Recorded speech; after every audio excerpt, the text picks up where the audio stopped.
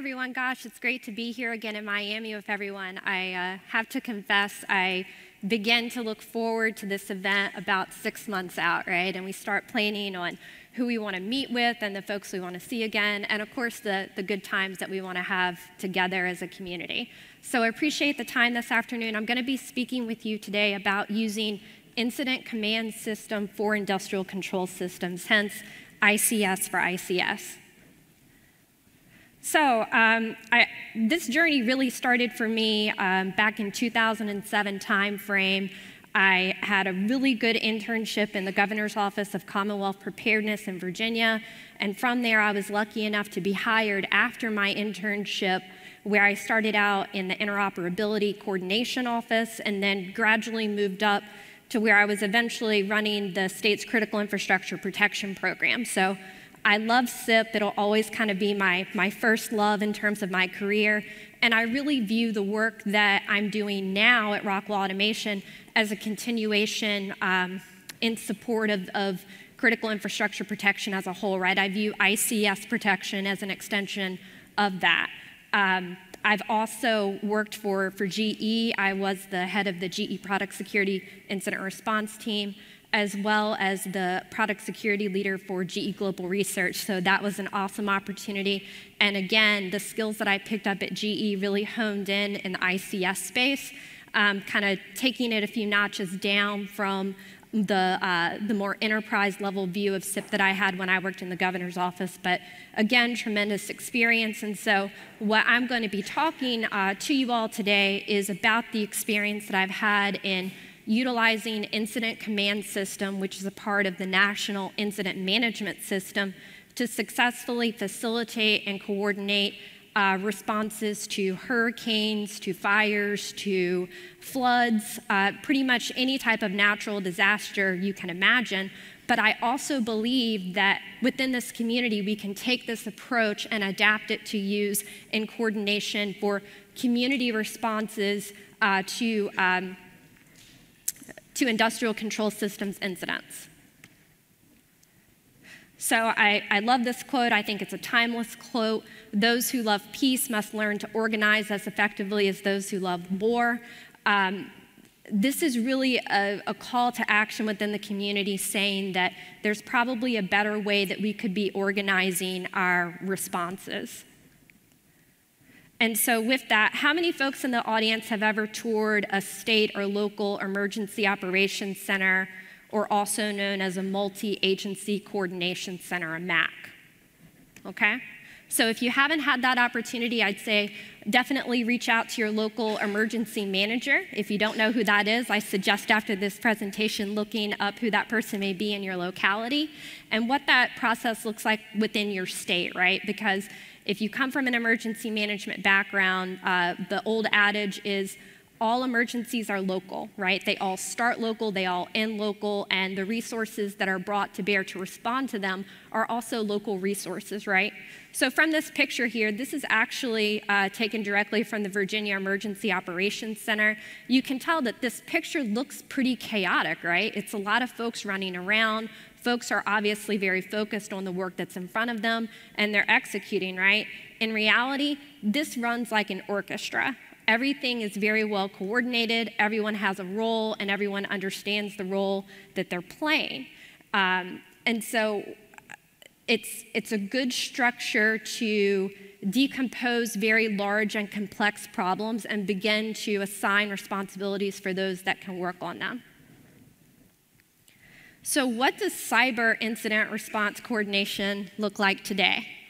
If you've uh, ever had the experience, the opportunity to be on conference calls when initial notification of an event comes in, uh, you can appreciate that it's normally a lot of call, a lot of people on a conference call coming together to develop a plan on how they want to assign priority to the incident as well as resources that they will in turn bring to bear to respond to the incident.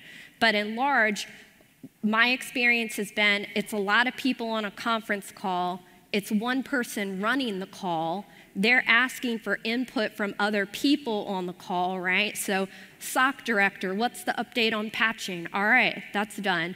Uh, what are we doing over here in threat intel? What's the latest? It's one person generally facilitating a large amount of data. And coincidentally, I have seen, and you may have seen it as well, that this person in many cases is also taking notes on the call. Or maybe they've assigned one other person to take notes on the call, and following the call, you'll all kind of get this email that says, all right, this is what the plan is, this is the these are the teams that are operating, and this is generally when we expect things to be done. And these emails are sent up to leadership, your executives are briefed, um, you're still coordinating things um, at a more tactical level. So lots of, lots of energy, lots of things going on. But, but with that, again, it's not organized in a framework that in many cases is repeatable outside of your organization. And so it isn't that the playbooks, right? I hear that term playbooks, the playbooks that we have in place now, it's not that they're wrong, it's that eh, eh, they're, they're just somewhat incomplete.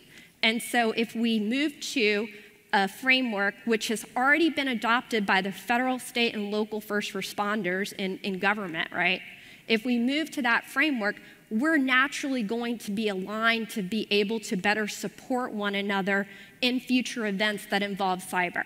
So I think that most people in this room, if you're at this conference, you believe that there will be an increase in times where we're going to need to see coordination between the government and the private sector, right? So, question to you all, open question.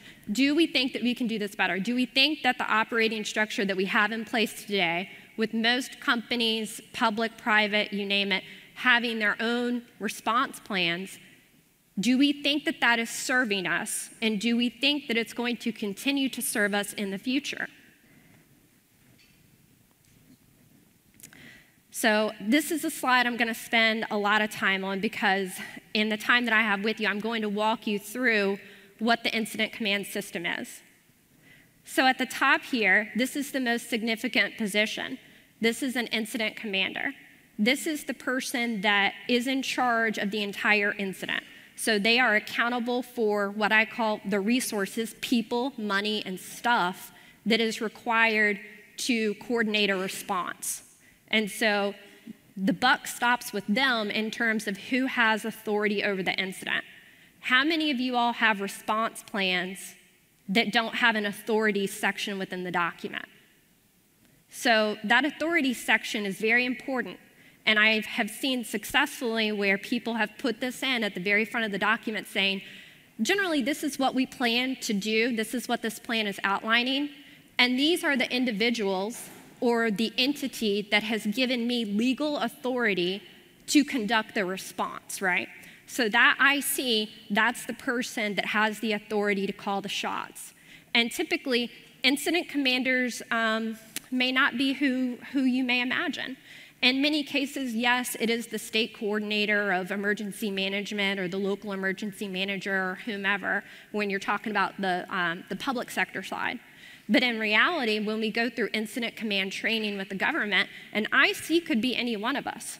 Um, I've seen cases where um, people have come up on a car accident, right? And say it's an off duty firefighter that happens to you know, be driving along the road, see an accident, they get out, they check everyone out, make sure everyone's okay, and call it in, right? That person is the IC for that incident until someone else arrives on scene and assumes that duty. And so you can be, you know, kind of an entry level person, but if you're the first one to be notified of something, you are the IC until you successfully pass that responsibility off to, uh, to whomever is going to take it on in the next step, right? Secondly, uh, legal. So, legal and public information communications and officers. I can't stress this part enough.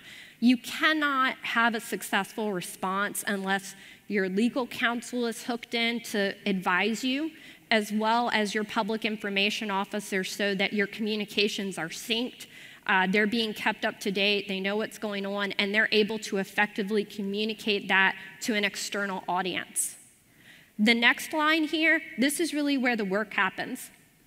So the first one is operations section. The ops section is run by an individual that is termed the operations section chief.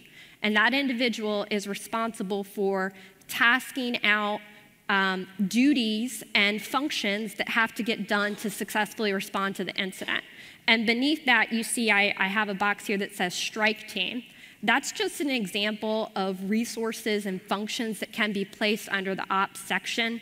You can also have task force. So, kind of an, an easy, simple way to explain the difference between a strike team and a task force is um, say we had a tree down in the middle of a road, right? A local emergency manager is like, well, we obviously have to remove this tree.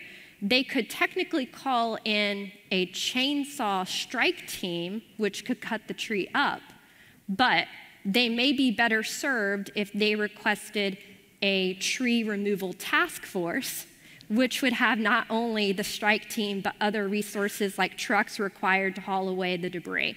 So that's just a simple example. Don't get too stuck on that, but as I'm going through this, try to um, try to make the logical leap of applying some of these applications for, for our space. So an example may be um, a malware reverse engineer strike team could be called in to support an incident, right? I'm going to talk a little bit more, but that gets into the importance of typing resources, right? And actually knowing the resources that are available to us. Moving on, we have the planning section. So I've, I've always loved when I've been asked to support the planning section and the planning section chief, again, the section chief uh, title there and that they are the folks that when you're standing up your incident coordination call, they are going to be meticulously documenting who was on the call, what functions they represent. They're going to be documenting the updates that are provided from the various response teams or emergency support functions. And then they're going to develop a very important document that guides how you respond. And that's called an incident action plan, an IAP and you can expect IAPs to be updated every six to eight hours or operational period. And what an IAP outlines is, again, this is management by objective from the incident commander from that lead position. They're going to tell you within the next six to eight to 12 hours, I would like these four things to be accomplished. In order for this response to be successful, these things have to be completed. And so the planning section will document that for you, and they will decompose those large goals into tasks that have to be performed by each of the response teams. And they will continually get updates from you as you're helping to respond. So I love working with planning sections. It really is the heart of the response and it's what fuels successful responses, right? I think today, going back to, well, what does it look like in cyber incident response?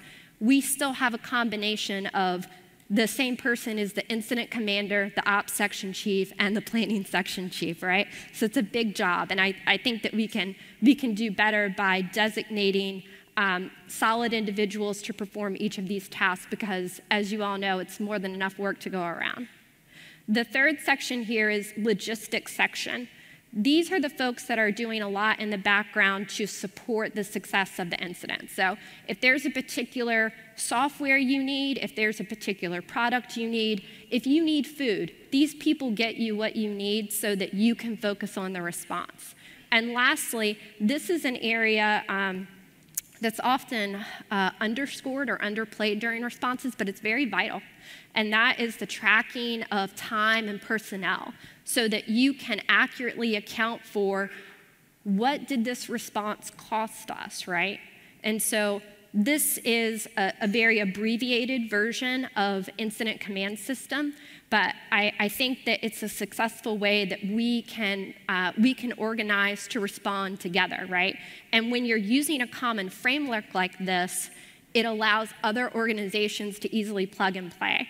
I've seen cases where um, one state has requested an additional planning section chief that was sent from New York or California. All of these requests for resources are coordinated through that logistics section. And what happens is that, um, say, a, a particular response team was working an issue and they realized that they just didn't have enough engineers to respond to something. They could submit a request through the logistics section and put out a call, if you will, for mutual aid support um, to other states. And that request is honored through a system called EMAC. It's the Emergency Management Assistance Compact, where even if we're operating without a presidential declaration, that EMAC construct is still in place to enable states to share resources.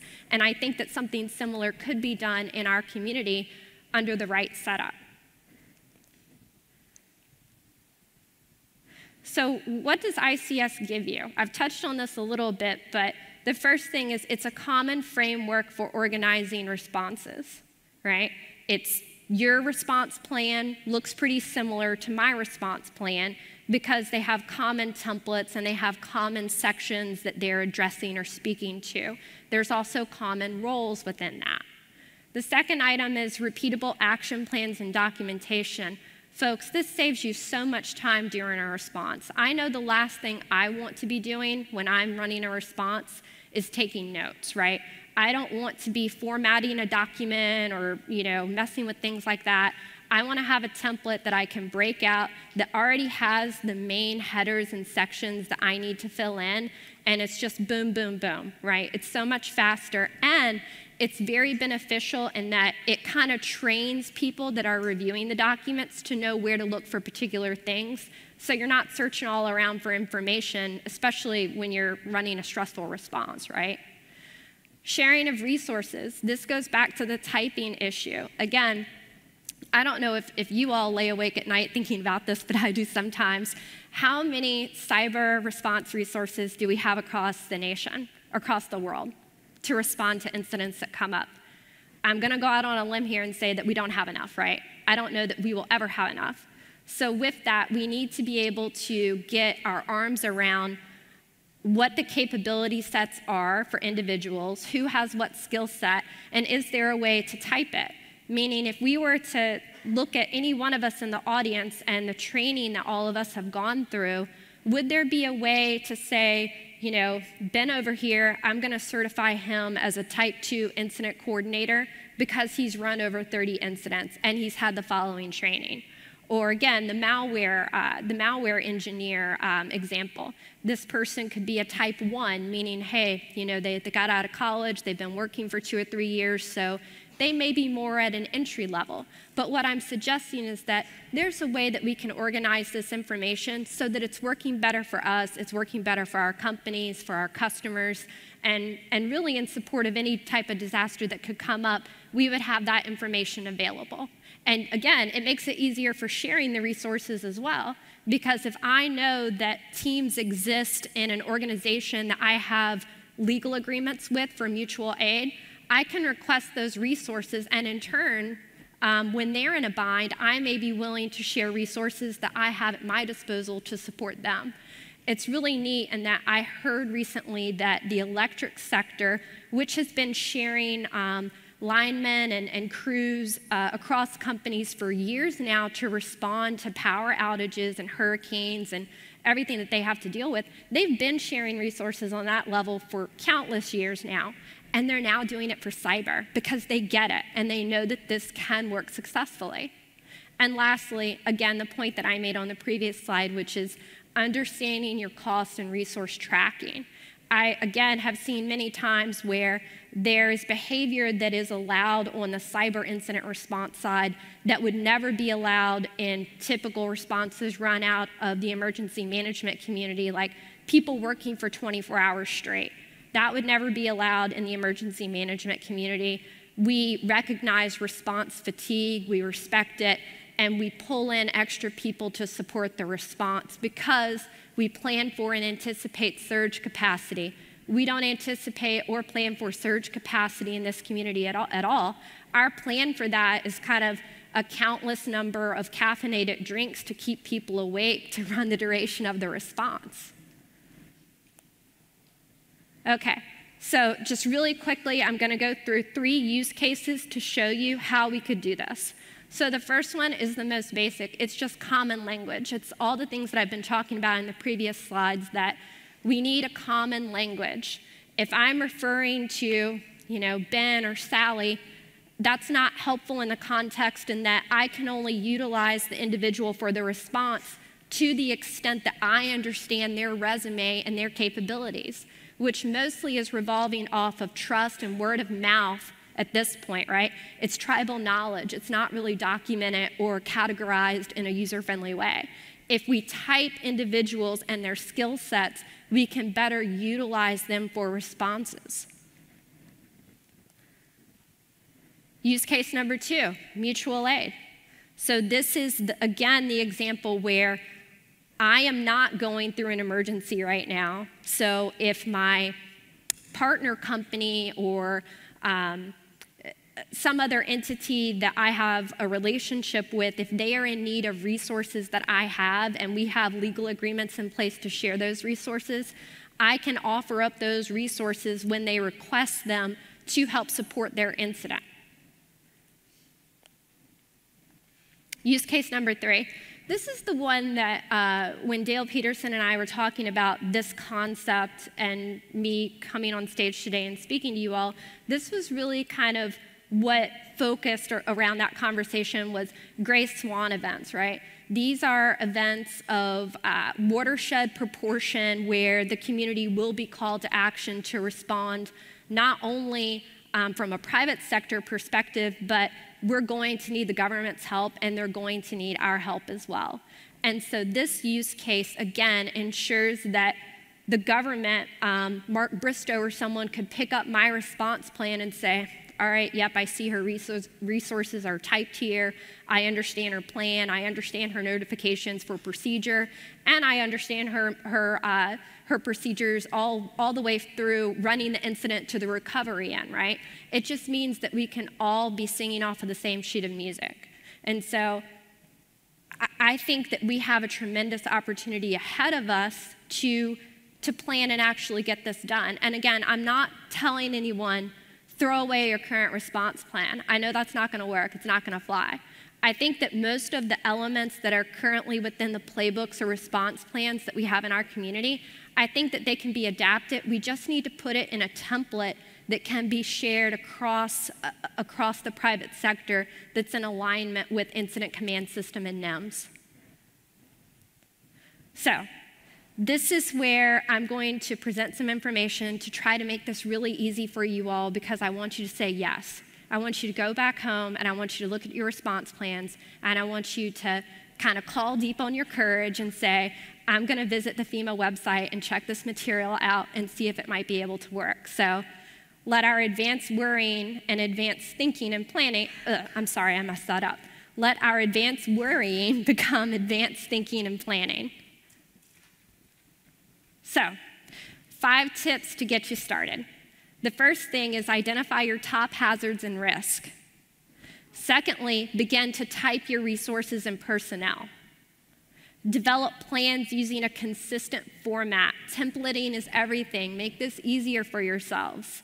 Utilize incident action plans. This is something that I bet you could pretty instantly put in place once you download templates for what an IAP looks like, and I'm hoping that you'll like it and you'll want to use it, but you can absolutely take action on that quickly. And lastly, train, then exercise. I can't tell you the number of times I have seen very complex, very detailed, you know, 60 page response plans written in organizations. And then folks are like, all right, we got a plan. Well, uh, we're going to do a tabletop exercise like in two months. Uh, you can't do that. You actually have to train people on what you say you're going to do in your plan. But many people don't use tabletop exercises to exercise their plan to see if it works. They use tabletop exercises as a form of facilitated discussion to educate their executives as well as to basically train on their plan, which is not bad. I'm not suggesting that you can't do that or you shouldn't. I'm just kind of calling it like it is that there's a lack of training that accompanies many of these response plans. So do yourself a favor and uh, develop training programs to support your plans versus just jumping straight into exercising them. Okay. So, characteristics of a healthy IR culture. This slide is just really about kind of last minute things I wanted you all to be able to take home and consider as part of this. So, the first thing that, that I've noticed in healthy IR cultures, it's understood who's in charge of the incident. In many cases, again, the response starts churning and It's not clear to anyone which executive, if it isn't an executive, or if it's a SOC director or whomever, who actually has authority over the incident. At the end of the day, who is accountable for the response? That needs to be clearly understood. The next thing is everyone has a distinct role and everyone is allowed to play that role. I think that's just good advice for any organization that you work in. Um, I can tell you that someone that I used to work with when I first came in, into an organization. I said, Hey, you got any tips for me? They said, Sure. You'll be successful in this company as long as you understand that everyone has a role and you allow them to play that role and everyone's role is respected. And so the, the person that said that to me, I'll, I'll be forever thankful because I just think that that's really good sage advice and it absolutely applies in this situation as well. The next one, there's a clear separation in responsibilities of the planning and operations sections.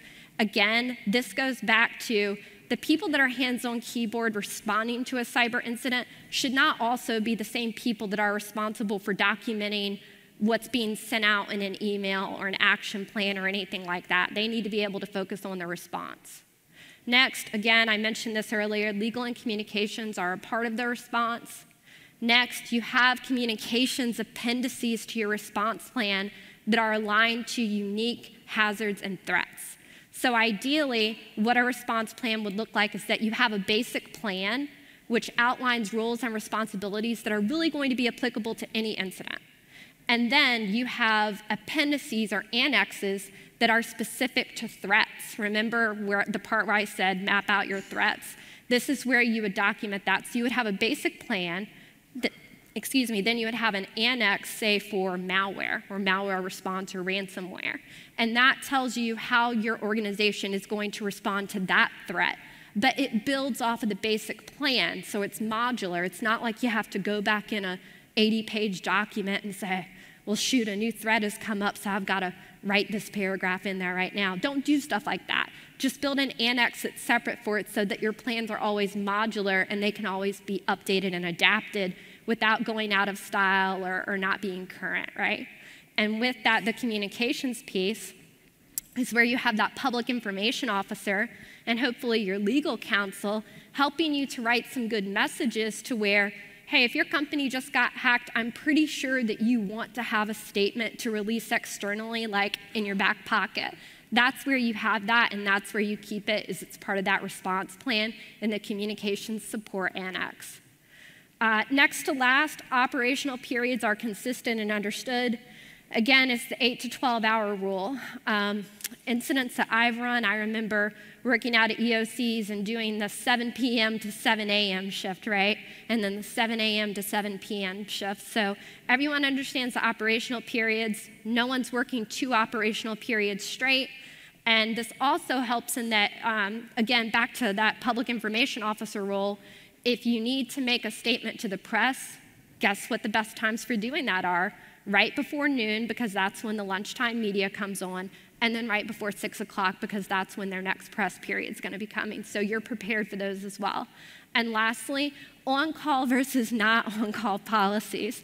I'm sure that there are quite a number of folks in this room that have been off enjoying a vacation somewhere. Maybe they've been on a cruise ship. Maybe they haven't had any cell connectivity for their phone to sync back up and see like 15 missed calls from whomever that an incident is occurring and you need to be able to respond. So it needs to be clear if you're um, not working during the normal nine to five, Monday through Friday, whatever, that if you are on call, you know that you're on call, and folks that are not on call can go off and enjoy their vacation and you know, not have to worry about incidents popping up. That's just fairness and equity within response because all of us cannot be on call all the time. You're setting yourself up for failure that way. But um, that's it. And here's where you can find all these training materials. So, again, dig deep, get some courage, go out and investigate this, and let's see if we can make it work as a community because I know it can work for individual companies. I know that it works in mutual aid. I know that it works on the public sector very well. And if this community can pull this off, I think that this can save lives. So, Thank you so much for your time.